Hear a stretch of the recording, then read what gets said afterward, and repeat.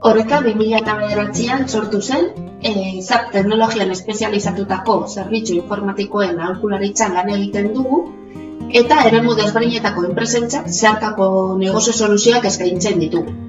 Horreka hasi zen hiru pertsonekin eta bulego bakarrarekin eta momentu honetan e, laro eta langile gara eta hiru bulego ditugu.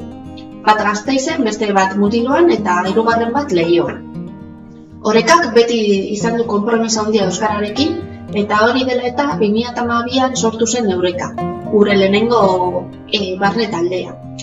Eureka sortu genuen e, euskara bultzatzeko helburuarekin. Talde honen bitartez euskararekin lotuta dauden hainbat ekintzak prestatzen ditugu.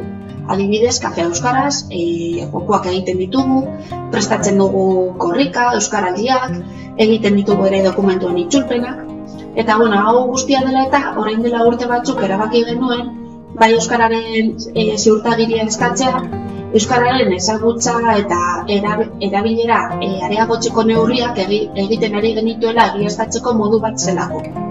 Hasiera batean hasi ginen zerbitzua eta lana ziurtagiriarekin, eta gaur egun e, zerbitzu Euskara ziurtagiria dugu. Horrek zer esan nahi du? Ba, gaitasuna dugula e, bai horreka barruan e, Euskaraz lan egiteko eta zerbitzua e, Euskaraz emateko. Bai Euskararen elkartearekin urtero izaten dugu ebaluazioa eta horrek laguntzen digu ikusteko ea urteko helburuak bete ditugun edo ez eta e, zeintzuk izan aldiren ezarri behar ditugu neurri berriak.